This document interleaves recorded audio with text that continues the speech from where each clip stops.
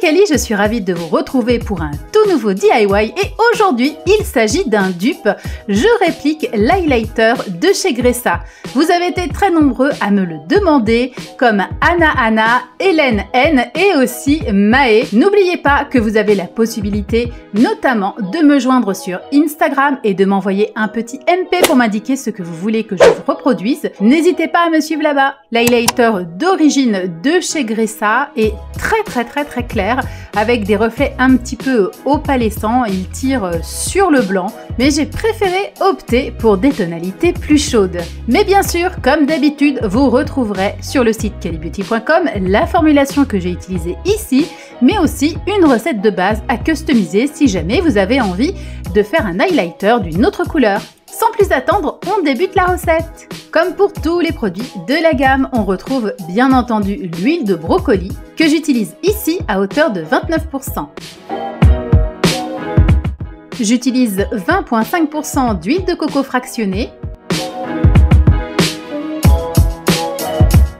J'ajoute 2,6% de coco silicone.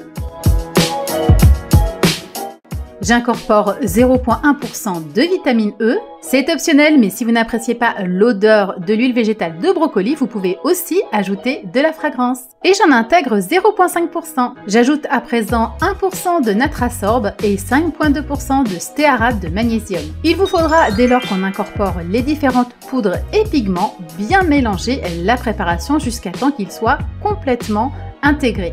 J'utilise 22% de base poudre de maquillage qui est déjà toute prête. Et pour terminer, je vais incorporer 19,1% de mica. Pour ma part, j'ai choisi la couleur or et beige nude. J'ai utilisé chacun à hauteur de 9,5%. Et voilà encore une recette facile, aucun besoin de chauffer. Il suffit juste de mélanger soigneusement et votre highlighter dupe de Gressa est prêt. N'hésitez pas à customiser la recette avec vos pigments et mica préférés. Comme vous le voyez sur les swatchs, c'est bien pigmenté, ça se travaille facilement. On peut euh, tout à fait euh, le fondre et l'estomper ou alors charger un peu plus en fonction de ses goûts. J'espère que ce tout nouveau DIY vous a plu. Si c'est le cas, faites-le moi savoir. Laissez-moi toutes vos impressions en commentaire. Likez la vidéo et partagez-la aussi auprès de vos contacts sur les réseaux sociaux. Et surtout, si ce n'est toujours pas fait, filez vite vous abonner à la chaîne. N'oubliez pas non plus d'activer les notifications pour être bien certain d'avoir toutes les prochaines vidéo. À bientôt les câlinettes